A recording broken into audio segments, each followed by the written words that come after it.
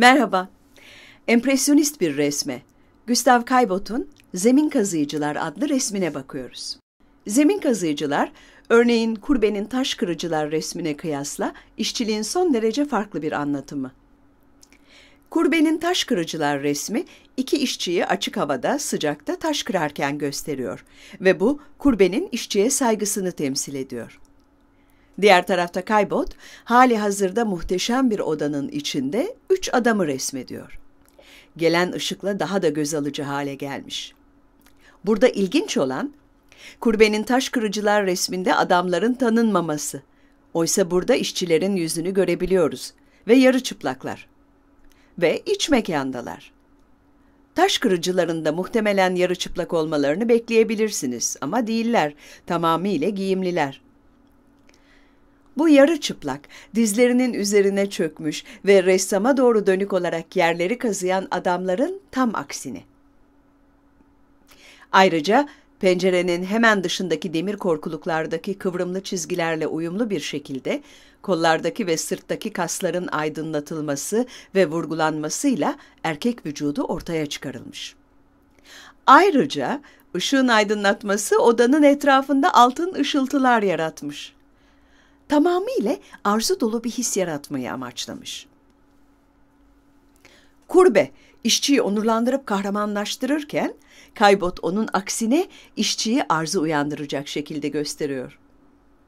Ama bu, bundan sonraki çıplak erkek resimleri için bir model olmuyor.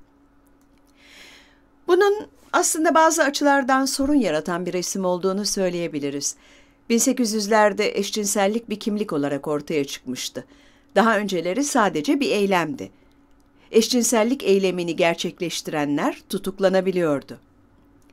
Bilimsel camia içinse doğrulanabilir bir kimlik kategorisiydi. İlginç bir şekilde görsel sanatlar içinde hemen hemen aynı zaman diliminde nü erkek neredeyse tamamen kaybolarak yerini nü kadına bıraktı. Bence ancak Kaybot gibi pek çok kişi tarafından aynı cinse ilgi duyduğu sorgulanan bir kişi bu tür resimler yapabilirdi.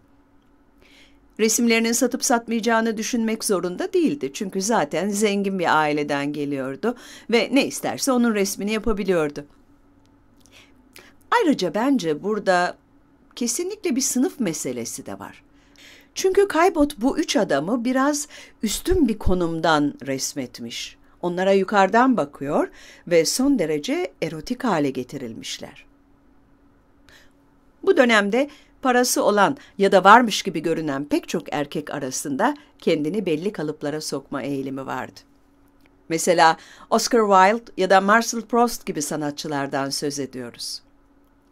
Böyle bir hayat tarzı sürenler o dönemde Fransa'da bile pek çok kişi tarafından düşük ahlaklı olarak nitelendiriliyordu pahalı kıyafetler giyiyorlar vesaire ve daha zarif, şık, daha hoş duruyorlardı.